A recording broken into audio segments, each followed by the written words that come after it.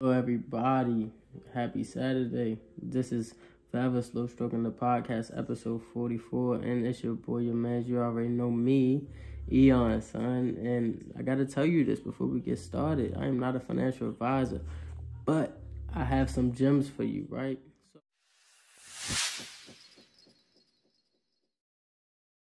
So please understand that everything associated with Forever Slow Stroking is for entertainment, educational purposes only. And if you need the help that of a financial advisor, just seek one, right? I'm sure you could readily attain one.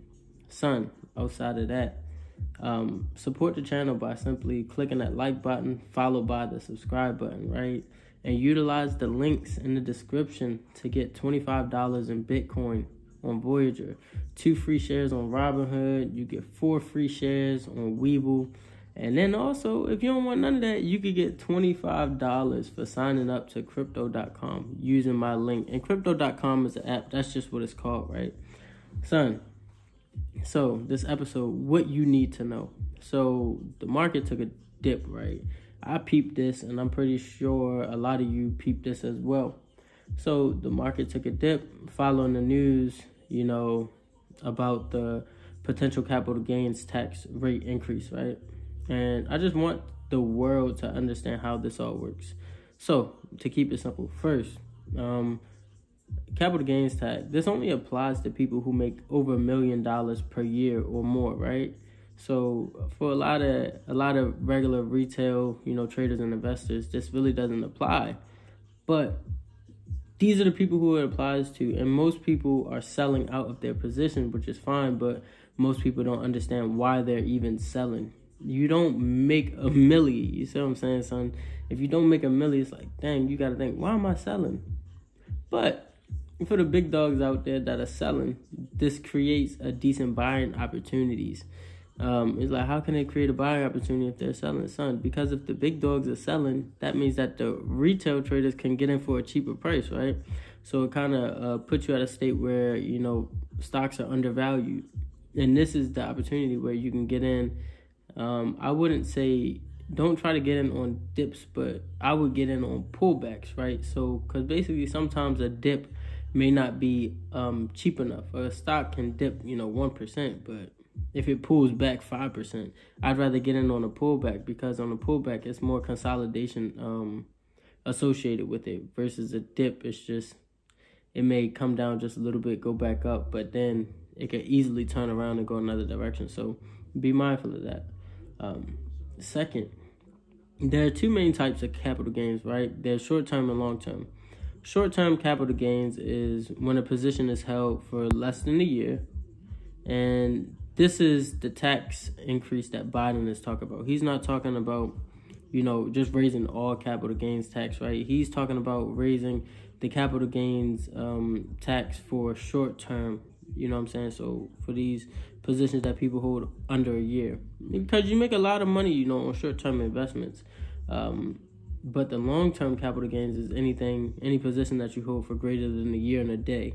So you have to hold it um, 360 six days, not 365 days. So you have to hold it a year and a day.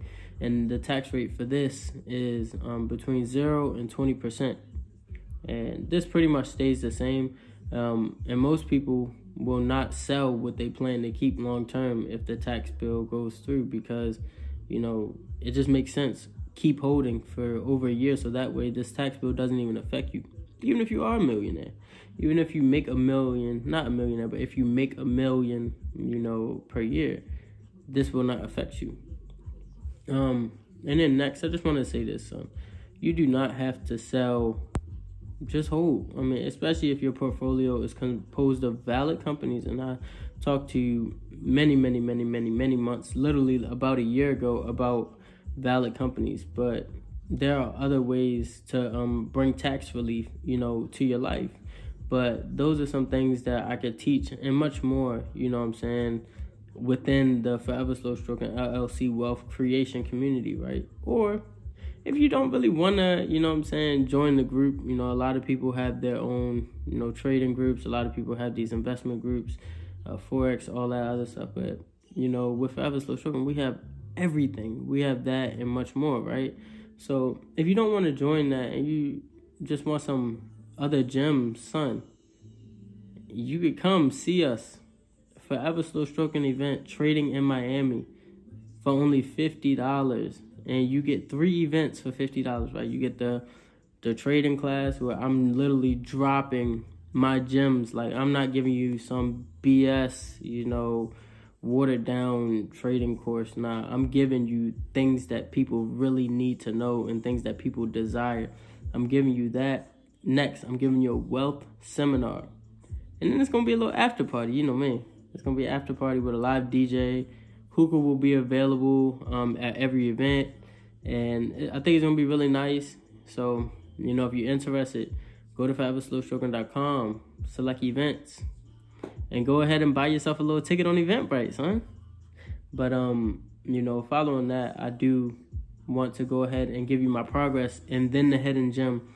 But while I pull up that stuff, son, hustle class, Jermaine, Jermaine's hustle class. Make sure y'all tune into that. Um, you could just get that on Apple Podcasts or any other streaming platform. I don't think he's on YouTube, but you would catch that on any streaming platform. Jermaine is valid. His stuff is good. His content is clear. I like I like to hear uh, Jermaine's podcast, and Jermaine is a member of Forever Slow Stroking LLC. Son, so for the week ending April twenty third, two thousand twenty one, one hundred thirty percent profit on Wayfair. 10% loss on FNB, 53% profit on Microvision, 70 70% profit um, on Snap, 100% profit SRNE, 100% profit um, CCIV.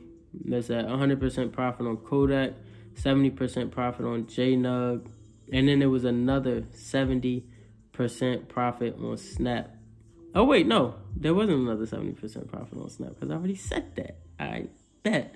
Son, so that was my progress for the week. As you can tell, I had a pretty successful week and I have some new strategies that I've been testing out and so far they proved to work very nicely and i will be teaching my i've already taught my group the strategies but i need to um, teach them the timing to use them right so we're getting into that um, so the hidden gem many companies are reporting this week right so i'll be watching these are the ones that i'll be watching tesla microsoft shopify um, those are like the the top ones. There are a few more. Also, um, UPS. There are a few more, but I'd say be careful because there's a lot of news dropping this week. You know, a lot of Fed news. There's a lot of folders coming out. It's a lot of information coming out this week. Actually, is UPS um coming out this week? I don't know. I feel like UPS just reported, but anyway, a lot of news is dropping this week, right, son? So you know me. I'm just here to, you know, give y'all the content, give y'all the gems, give y'all the information, and y'all do what y'all want with it, right? But I had to clear up this whole, you know, whole cloud of the the tax increase. Son, this is forever slow stroking. I'm Eyon, but I gotta go. Thanks. Peace. Oof.